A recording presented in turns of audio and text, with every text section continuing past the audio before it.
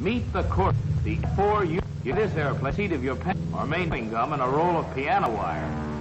It's a big, tough, heavily built shipboard fighter, pulling 2,000 horsepower on the takeoff. Greater power and higher wing loading means she'll land faster and stall quicker than the older, slower types of fighters. Normally, the ground crew will start the engine, but every pilot should be familiar with the starting routine. With ignition off, the prop is pulled through three or four times to clear the cylinders. A cartridge is placed in the breech of the starter, which is reached through a door in the accessory compartment.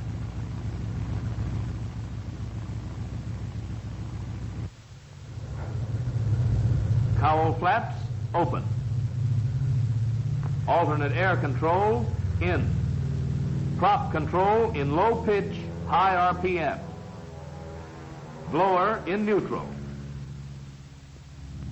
Mixture control in idle cutoff. With fuel selector on reserve, the booster pump is used to raise fuel pressure to about 17 pounds. The engine is primed for four to seven seconds, depending on whether it is warm or cold. Moving the mixture control forward and back aids in priming the induction system. And the cartridge starter, energized by means of the switch on the distribution panel, must be held on until the engine runs smoothly, as it also controls the ignition booster.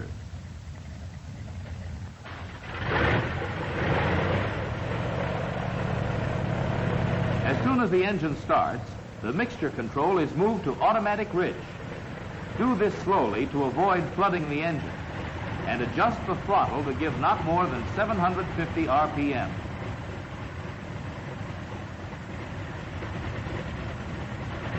The wings are spread by moving the hydraulic control lever to the spread position.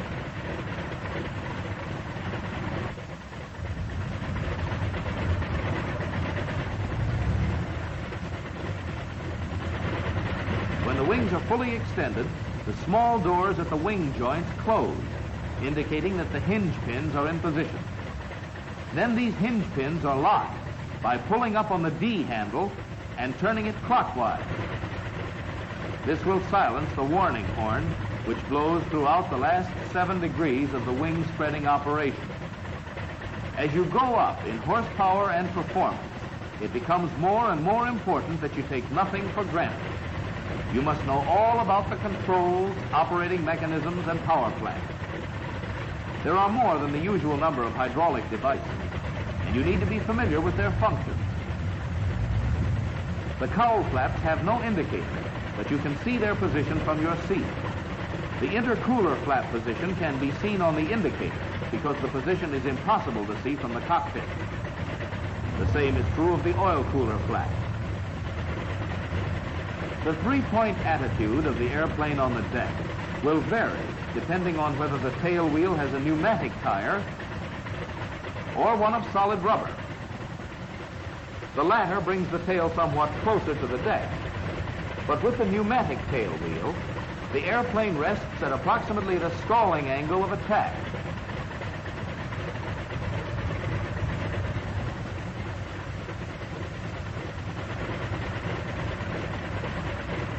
The chocks are removed.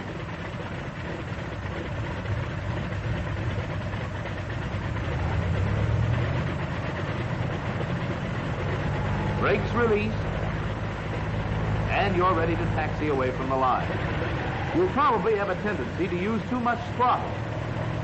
The brakes are very effective, but don't attempt a long taxi requiring a lot of braking. You can't get rid of the heat. And as you can see, taxiing is necessarily slow because of the necessity of S-turning to get better forward vision. Early models of the F4U are equipped with a check-off list switch instrument. When this switch is turned to takeoff position, the warning horn for the landing gear will not blow. Later models, however, do not have the check-off switch instrument. The check-off lists for taking off and for landing are placed on separate plates mounted on the instrument panel. Prior to takeoff, you'll check the following. Wings and lock. Arresting hook control, up. Otherwise, you will be unable to retract the wheels after takeoff. Fuel tank selector on reserve.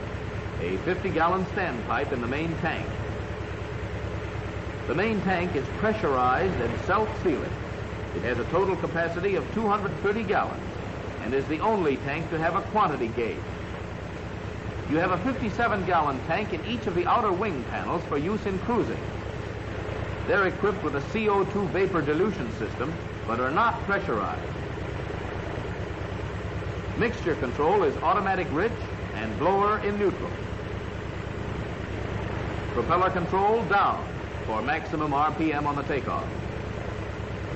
Cowl flaps two-thirds open. Intercooler closed. Oil cooler open as required. Set the rudder tab six degrees right. Aileron, six degrees right wing down. Elevator tab, one degree nose up. These settings compensate for left wing heaviness due to engine torque. Alternate air control, in. Here's the flap control. But we have a good runway at this field, and this first takeoff will be with flaps up. When the oil temperature is above 40 degrees and cylinder head temperatures are above 120 degrees, open up to about 30 inches in full low pitch. Check your mags fairly quickly. The drop shouldn't exceed 100 RPM and is usually between 50 and 75.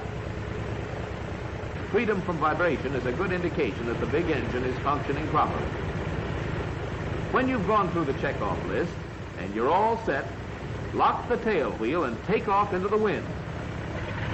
Ease the throttle forward and approach full power in steps.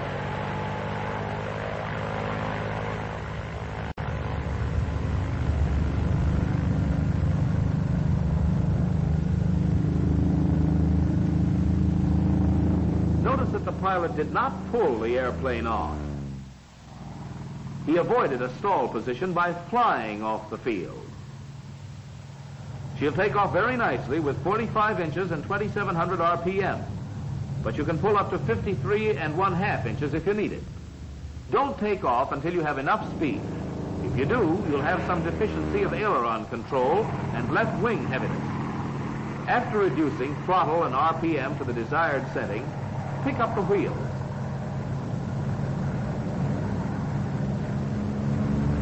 Let's go back and make a takeoff with the flaps down. For a carrier takeoff, you'll use about half flap, 20 to 30 degrees, with full power, while holding the plane with the brakes. Extreme caution must be observed to hold the tail down with the stick to prevent nosing over and digging the prop into the deck. With your flaps down, tab settings are even more important to reduce the force needed to maintain your run and takeoff path. Six degrees nose right, six degrees right wing down, and about a degree nose up.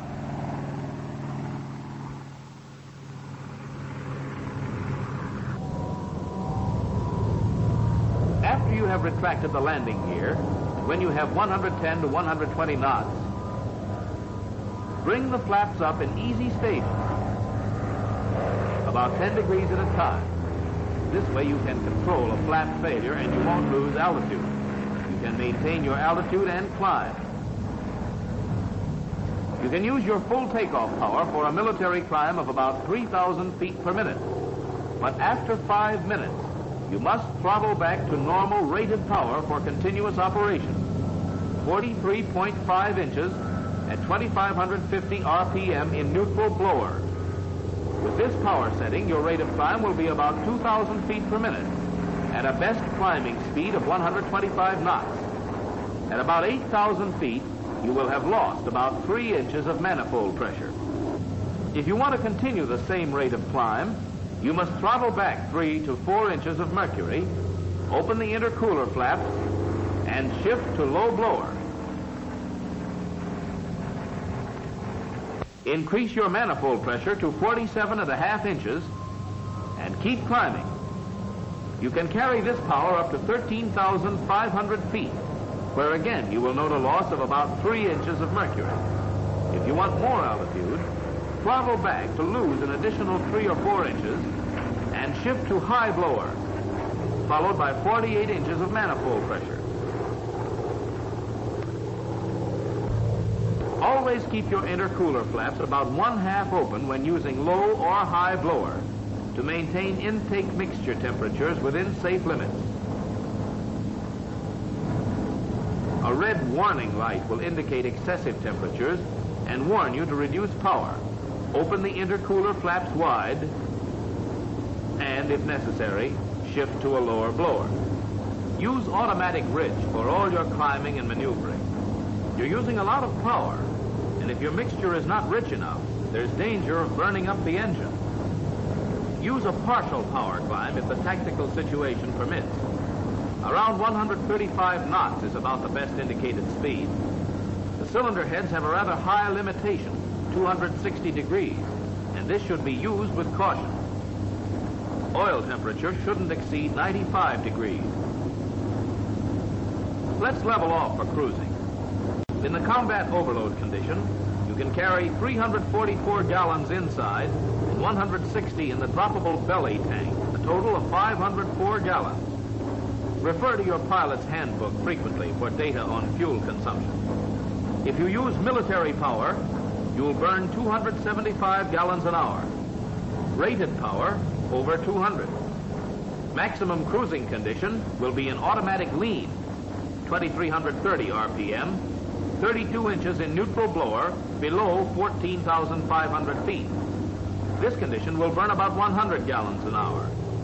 Recommended cruise is automatic lean, 2150 RPM, 29 inches in any blower, using about 80 gallons per hour.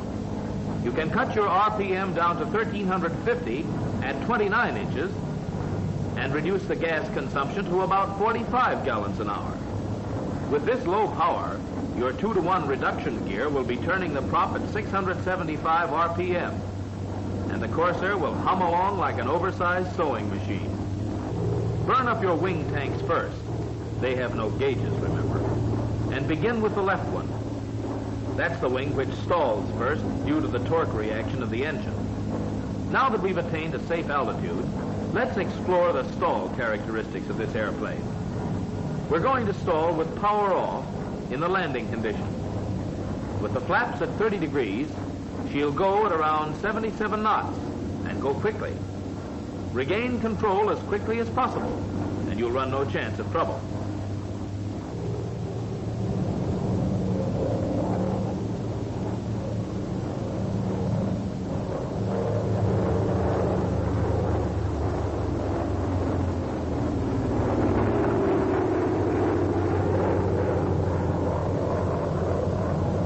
Stalls are abrupt preceded by very little warning in the nature of buffeting. Stick pressures are heavy, but with experience, you'll become familiar with the F4U's stall characteristics. In approaching a power stall in the clean condition, the control movements will be very small, and there is only a quick warning. At about 85 knots, there she goes, off on the left wing. Stick pressures are heavy. You can help them with your tabs. Prompt, positive action results in a normal recovery. All right, let's put the wheels down and lower the flaps about 30 degrees. You'll want to familiarize yourself with her feel and behavior in this condition before you try any carrier landing.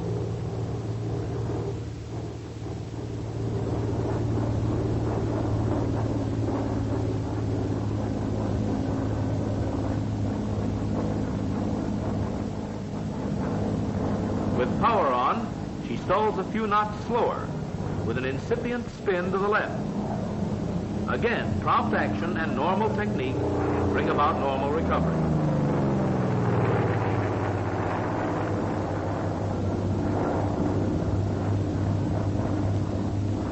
Now let's see how she behaves in a dive. The open cabin is not designed for speeds above 300 knots, so be sure it's closed before diving the airplane. Go through your checkoff list. To extend the landing gear for diving, don't use your landing gear control or you lower your tail wheel, which won't stand up to high speed. Lower the wheels with the dive brake control. This will leave the tail wheel retracted. Throttle slightly open. Mix in automatic rich. Fuel tank on reserve. All flaps closed. And you're ready to push over. Make your corrections early in the dive and don't let the engine rev at 3060 for more than 30 seconds. Don't exceed the speed and acceleration restrictions placed on this airplane by current technical orders. And don't exceed 7 Gs in any loading conditions.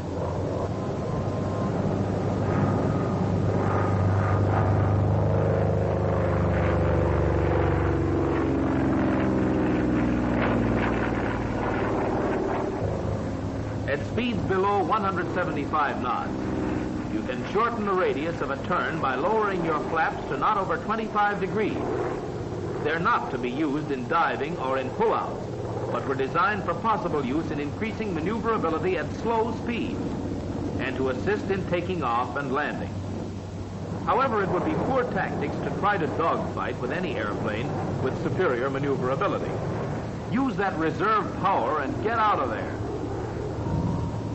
The Corsair is not restricted as to acrobatic maneuvers, such as the loop, which may be entered at a speed of about 210 knots.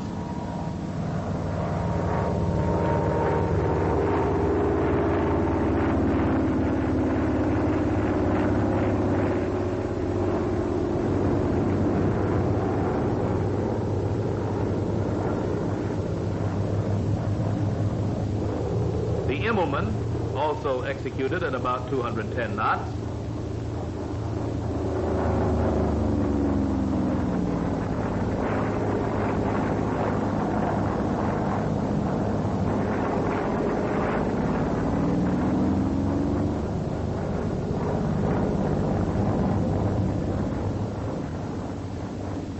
And the slow roll, which may be performed at a speed of approximately 180 knots.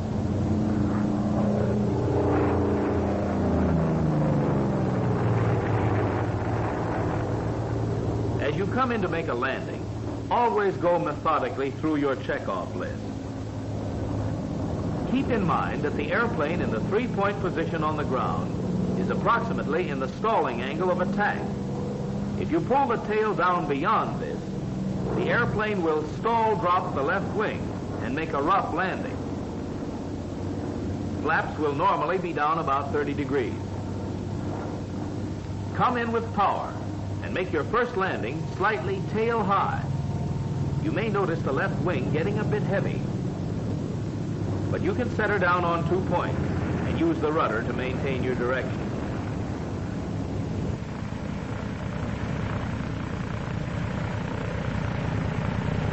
If the tail is forced down at high speeds, a pronounced buffeting effect will develop and the plane will swerve. However, when the tail is held up by forward pressure on the stick, the buffeting effect will be slight and swerving will be minimized. Notice that the airplane should be down on all three points before the brakes are touched. You can't see directly ahead, and therefore you must be doubly alert to maintain your path. Normal technique with the brakes will maintain your direction, and experience will bring competence in any flap setting.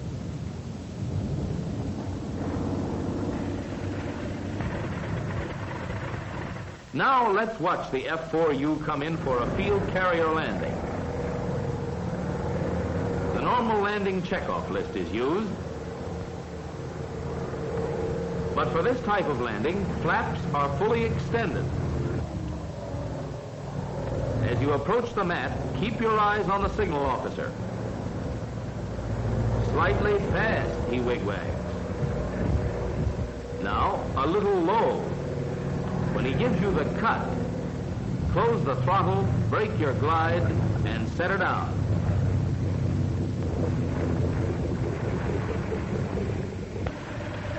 Get to know the installation, controls, and engine operation of the F-4U.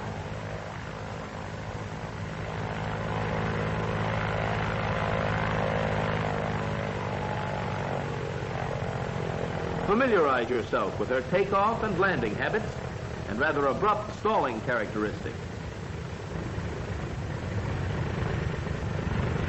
There's nothing about the Corsair that good pilot technique can't handle.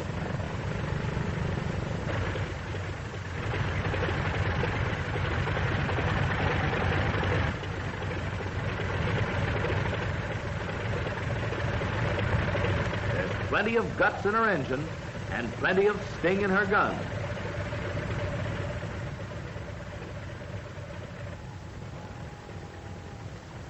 Use her power and speed for your own advantage and put bombs and bullets where they will be most